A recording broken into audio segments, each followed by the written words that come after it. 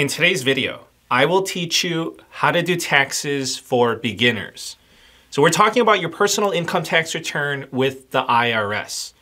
If you know little or nothing about how to do taxes, then you are at the right video, so I welcome you. Now let's start with this. Let me tell you why you get a tax refund or owe money to the IRS. So the federal government needs money for the military, federal employees, health programs, interest on national debts, foreign aid, you name it. And all of these expenses are paid for by you and me, the taxpayers, through income taxes. So let's say that you're an employee working at a company. Your employer takes money out of your paycheck for taxes, right? So your employer does not keep that money, no. They send it to the IRS on your behalf. So how much money does your employer take out of your paycheck? The answer is that that depends on you. You decide. You tell your employer how much money to take out of your paychecks. You did this when you filled out your W 4 tax form before your first payday. Now, when it's tax filing season, you're gonna fill out your tax return. You will report all your income. You're gonna claim as many tax deductions and credits as possible and then you're gonna see how much tax you owe for the year. And let's just say in this example that your tax for the year is $10,000. But you have to remember that you've been sending in taxes from each one of your paychecks, right? So if you sent in more than $10,000, then you will get a tax refund in this example. Your overpayments will be refunded back to you.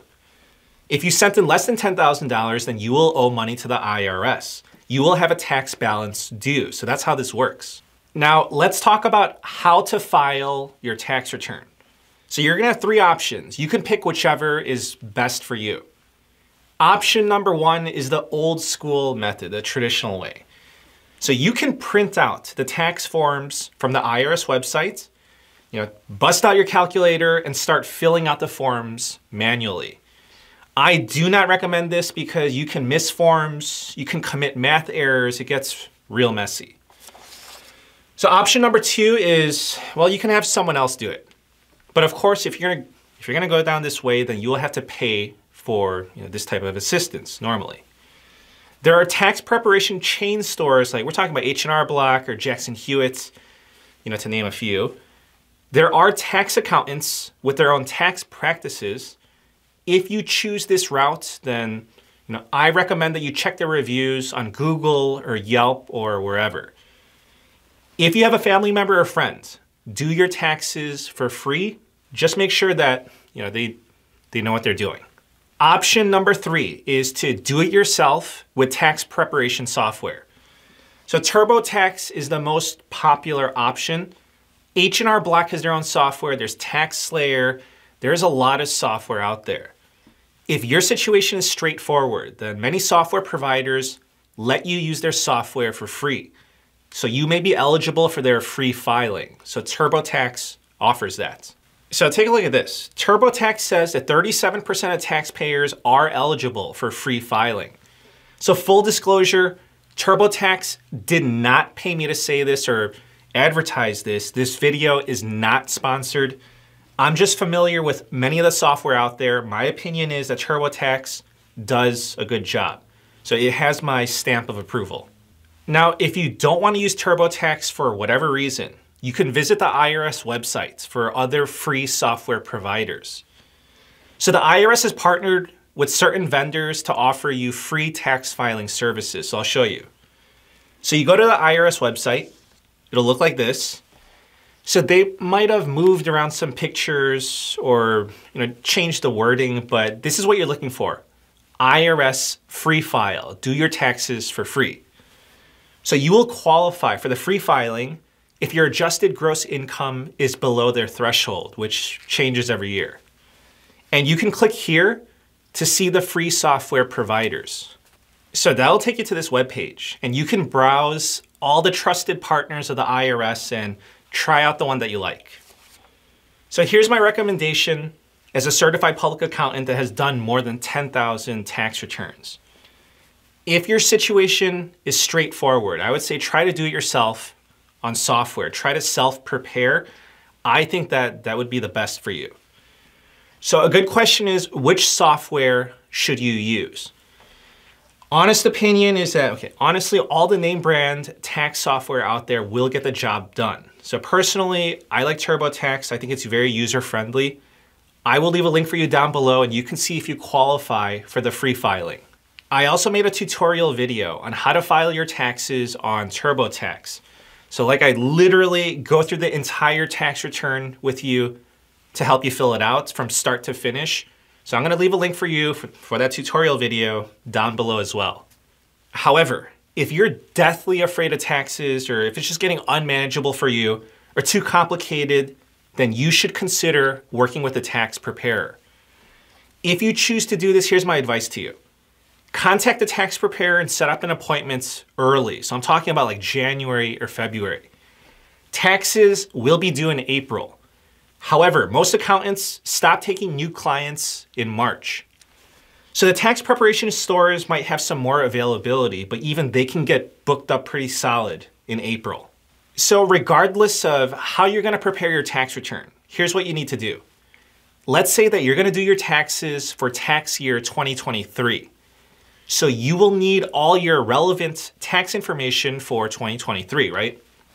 And these tax documents will come from your employers, financial institutions, lenders, etc. So here's how it works.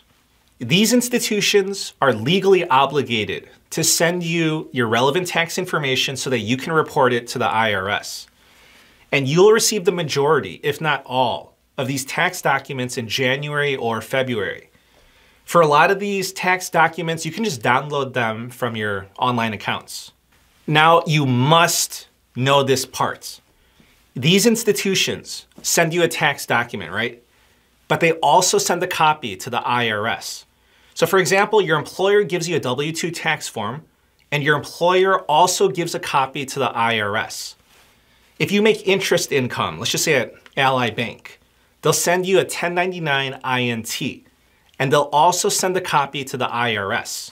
So if you don't report something that is on your tax documents, then the IRS will know about it and send you a letter. Because everything is computerized and they will know about the discrepancy. But if the amounts are minimal, like you don't report, let's just say $4 of interest income, then the IRS, they're not gonna even bother. You know, if it's not worth the effort to come after you. But if you fail to report something big that is documented, then yes, the IRS will come after you. Here are the most common tax documents that you may receive. So the W-2, this is your wages earned and taxes paid. 1099 INT, this is the interest income that you received. 1099B, so this is for your stock sales and crypto sales. 1099 DIV, which are your dividends. 1098, that's the mortgage interest that you paid. 1098E, this is student loan interest that you paid. Now let me end with this, and this is so important. This is probably the most important because this is a summary of what you need to do. So it's gonna be three steps. So step number one is that you will fill out your tax return. And step number two, you will submit your tax return to the IRS. The most common way is to do it electronically. This is known as e-filing. If you prepare your own tax return, all the software out there will allow you to e-file. If you use a tax preparer, then they will e-file for you. Okay, so step number three is that if you're getting a tax refund, you can receive your money by direct deposits. So you'll get your tax refund in about one to two weeks. If you owe money, you can pay the IRS on their website by the tax filing deadline. Or you can set up a date for the IRS to debit your bank accounts. Now, if you live in a state that charges state income taxes, which is most states, then it will be the same process with the state. But tax preparation software will automatically generate your state income tax return based on your federal tax return with the IRS. So that is the entire tax filing process. And now you know how to do your taxes. Check out the links below. And if you have any questions, please leave them in the comments down below. I'm gonna do my best to assist you. Thank you so much. Please subscribe, and I wish you a very nice day. Take care.